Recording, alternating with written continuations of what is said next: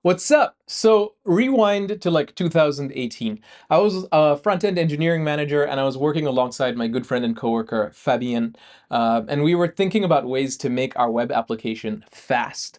Because the unfortunate reality of today's web applications is they are way too slow because we ship way too much JavaScript on the web.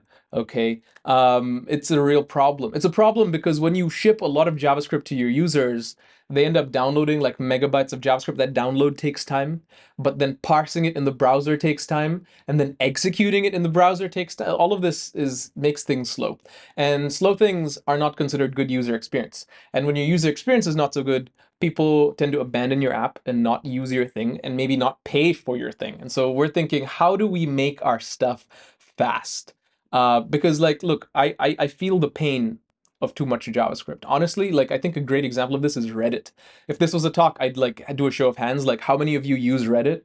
Um, I used to use Reddit more when it was faster, and then they did this rewrite and made it heavy. It felt heavy. It felt slow. In fact, let's look at it. So if I go here to the browser and if I open like Reddit.com, look at this. Look at this. Look at this. Takes forever. Look, look, there's still skeleton UI. In fact, let's open the network tab and take a look-see.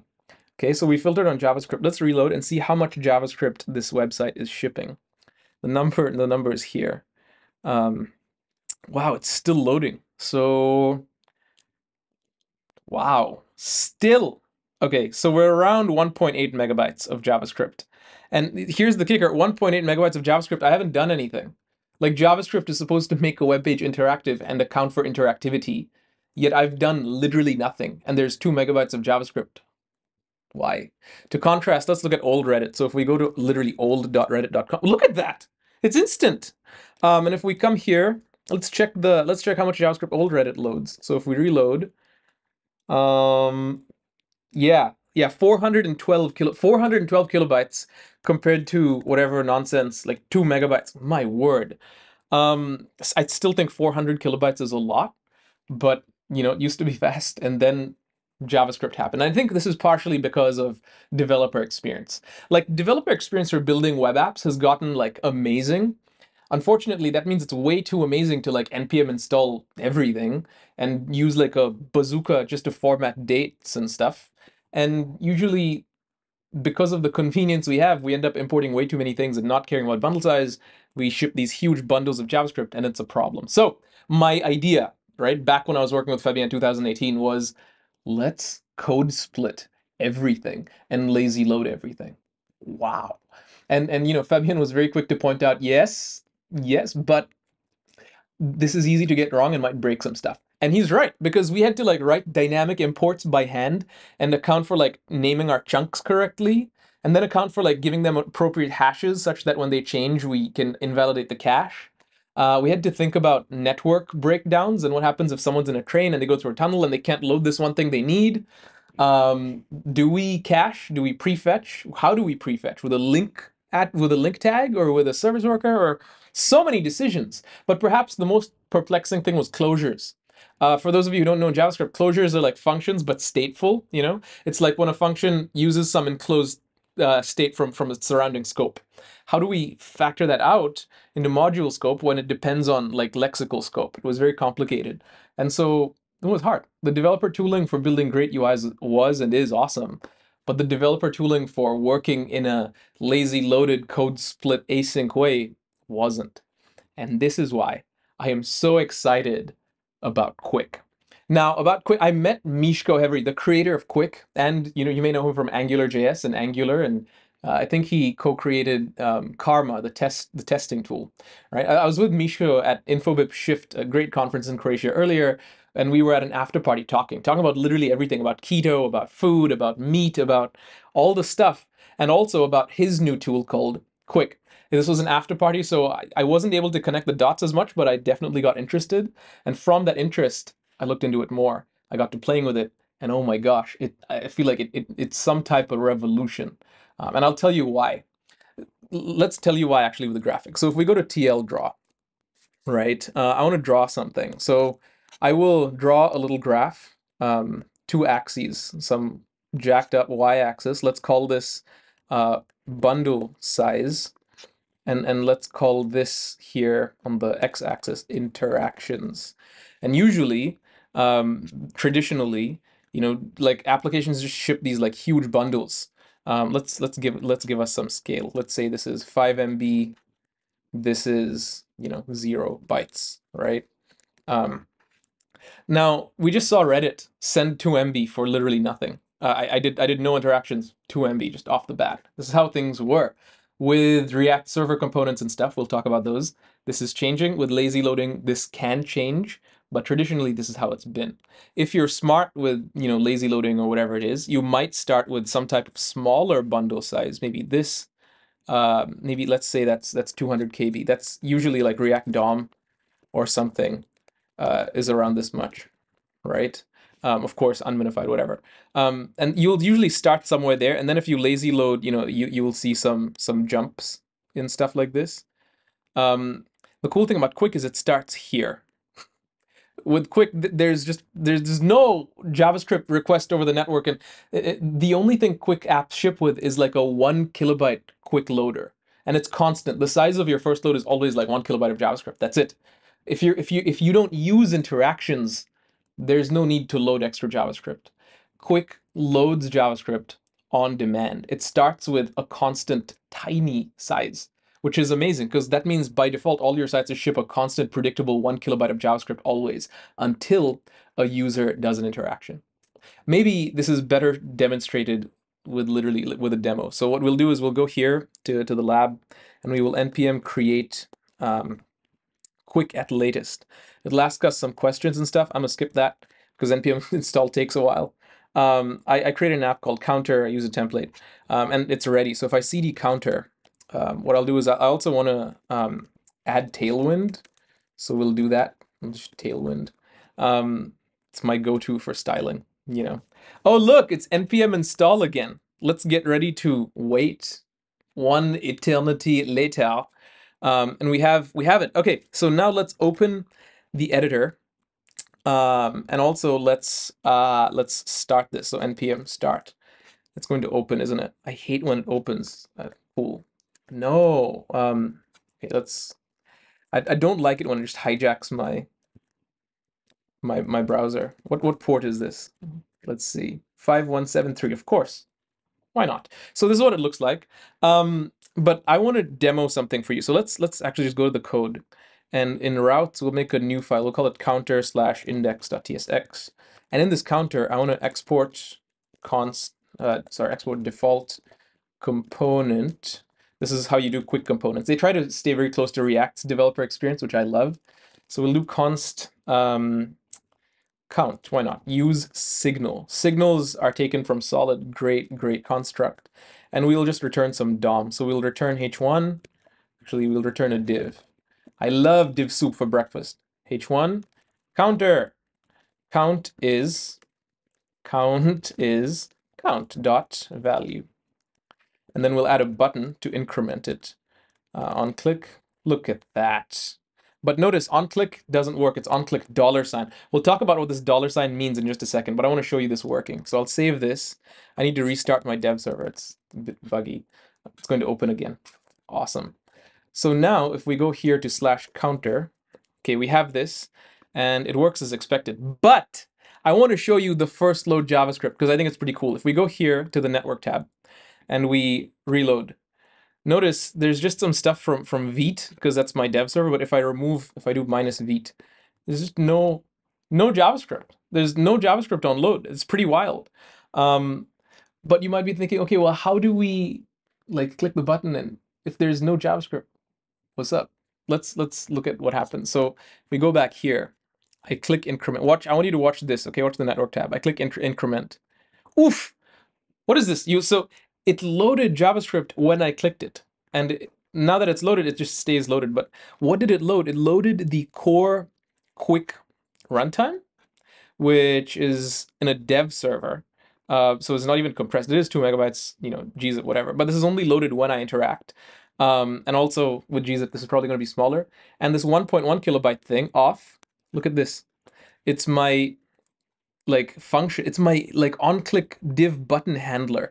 What what Qwik has done is um, has taken this and code split it and extracted it to a different file and then loaded it on demand, like when I need it. That's freaking nuts uh, because it's able to even capture the lexical scope. Like, like look at this. Look, so if we this count is outside this function, yet with code splitting, Qwik has managed to do that.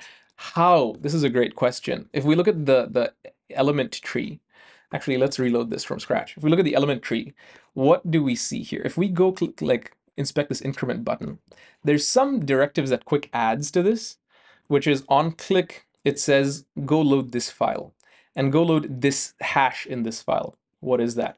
Qwik maintains state in the browser um, here. So it stores a reference to like locations of code splitted things and context around them for closures. So it stores all this information here and really just adds one event listener, just one event listener um, to the browser, which is at the document level. When a click happens, do something. Probably load this thing, this this file, etc.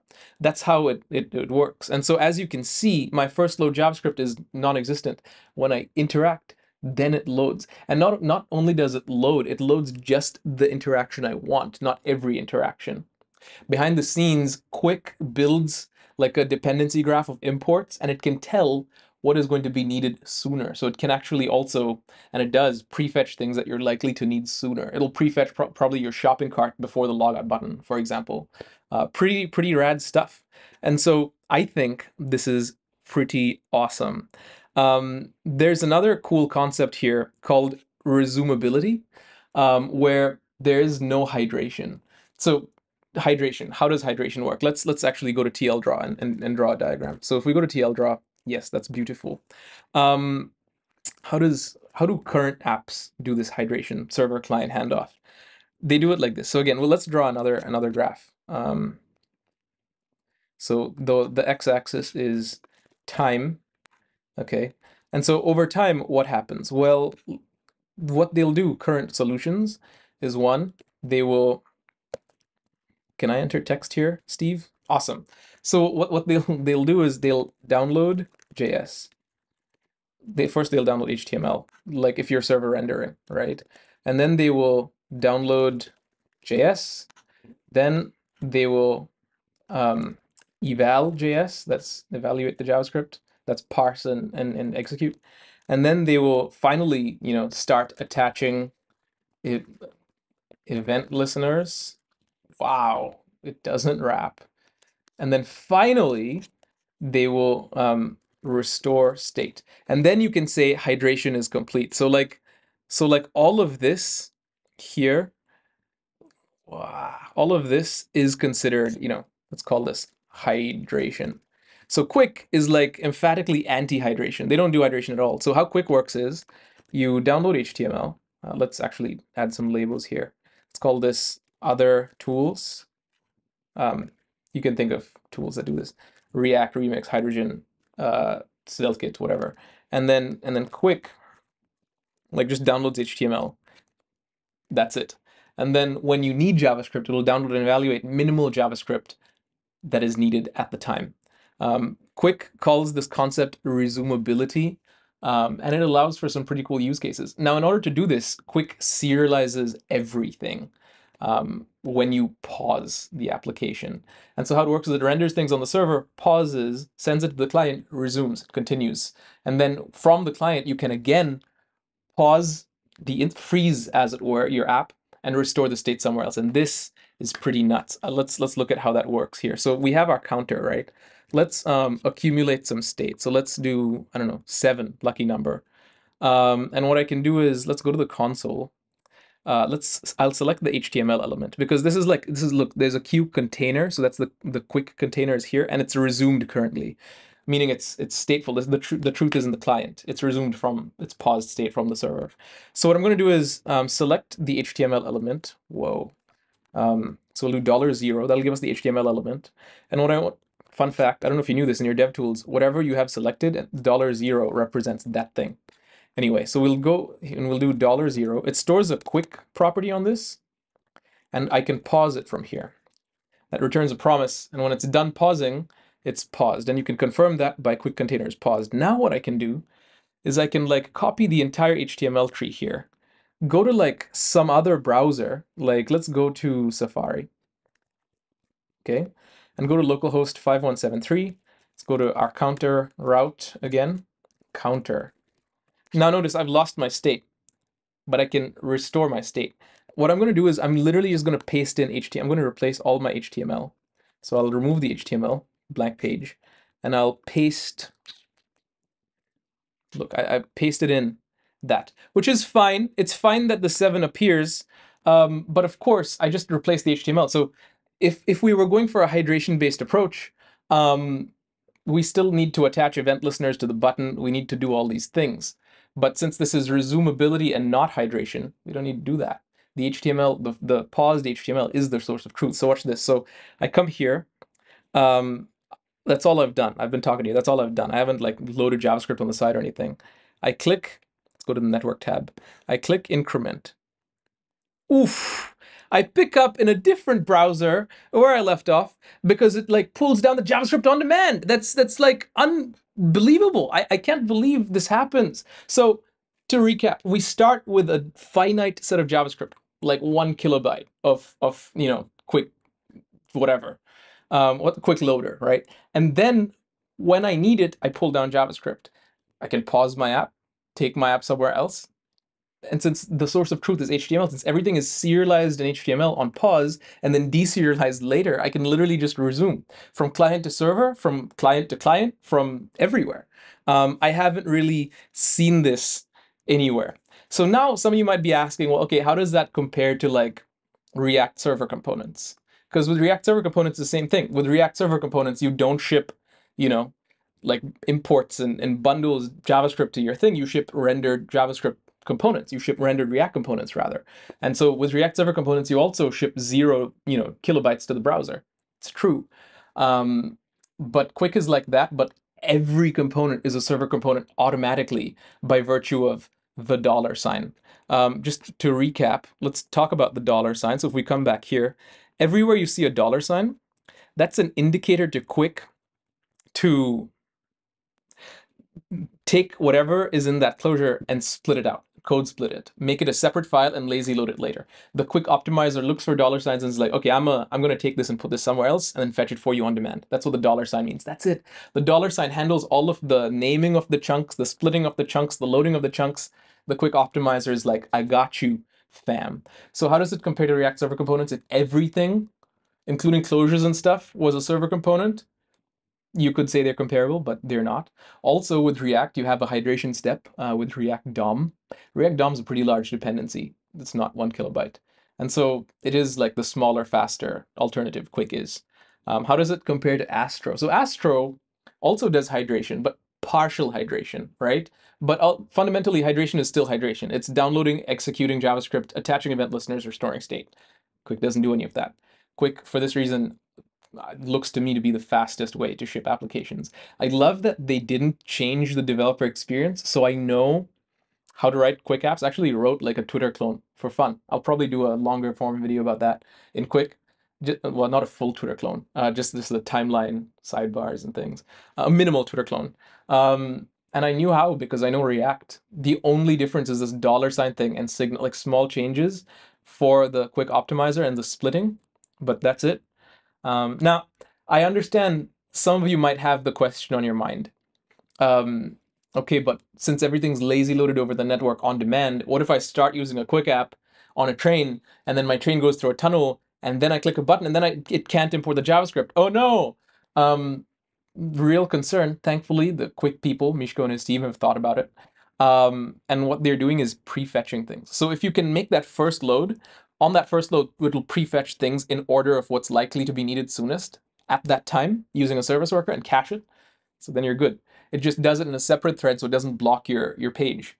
Pretty, pretty nice. Um, so you will still have issues in, in a tunnel, but they're the same issues as with any other app in this case because the interactive parts of your app are prefetched. Um, it's pretty rad. Now, I think, you know, my final deterrent, right, was like, or maybe penultimate deterrent was I have an existing React code base. I want to move it to Qwik, but I can't. Except you can. Um, there's a there's a function called here. Let's let's see if we can find it. There's a function called Qwikify Qwikify app um, builder.io. Yeah, it's Qwik React. So in the docs, I saw this thing where you can literally just like wrap React components in Qwikify, and it will, with some caveats, it will, um, you know, Qwikify your React components. It does have some limitations, but it's a cumulative upgrade path if you want to. Um, okay, the last thing I can think of that has kept me from using Qwik more abundantly is, is there a framework? Is there something like Next.js, but for Qwik? Yeah, there is. It's called Qwik City, and in fact, it has more feature parity with Next.js 13 than I thought. It literally has support for like layouts and nested layouts. Um, it has support for, you know, an equivalent app directory. Um, most, it has support for like route groups. It has a bunch of Next.js feature parity that I didn't think it would have. It's good. Um, of course, if it sounds too good to be true, it probably is. It's it's beta, there's still some issues uh, in it. There's some issues I've had today. I've spent hours trying to solve. I couldn't, so I gave up, changed the video a bit. Um, so it's not perfect, but hey, look, at the end of the day, um, we're shipping one kilobyte on initial load. It's like automatic Lighthouse 100, right? Performance-wise, anyway. Um, it's it then loads things on demand as you need them, meaning if, if you have some path that a user will never take, you're not shipping JavaScript for that. It's like it, it doesn't even exist to your users. It might exist in your code base as technical debt, but your users don't pay the cost. Historically, users have paid our technical debts. Qwik remedies that. I love the fact that it's it's pausable and resumable across different clients and servers. Um, I'm here for it. I'm here for it. I'm, I'm excited. I've been building things with Qwik so far, and I love it. And I think you should give it a try too. Those are my thoughts. I want to know yours. What do you think? Did I miss something? Am I just making a complete um, I can't swear, a complete idiot of myself. Uh, let me know in the comments or at me on Twitter. But for now, that's been it, and I'll catch you in the next one. Peace!